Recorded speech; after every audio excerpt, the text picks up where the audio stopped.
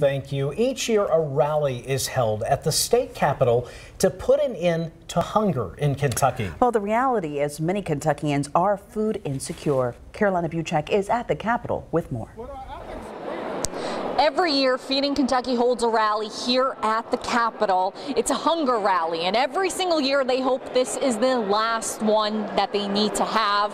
But unfortunately, here in Kentucky, the reality is far from this because there are so many families here going hungry.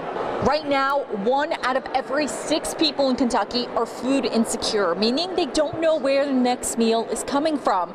And when it comes to children, that statistic is even worse. The group says right now, one out of every five kids sitting in school are hungry. Food banks across the state, and there are about 800 of them, are trying to help, but the demand is high. Now, that is where the Farms to Food Banks program comes in. It's a program where fruits and veggies grown by Kentucky farmers go to local food banks, and these items are the most expensive. So, without this program, people who use food banks wouldn't be able to get some.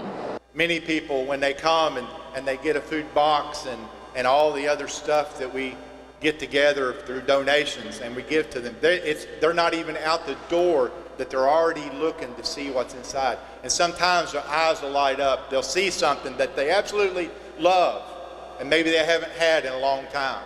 And the state budget helps pay for all of this, but there are things that you as a taxpayer can do as well. More on that coming up later today. Covering the news in Frankfort from the LAXC T-Mobile Newsroom, back to you.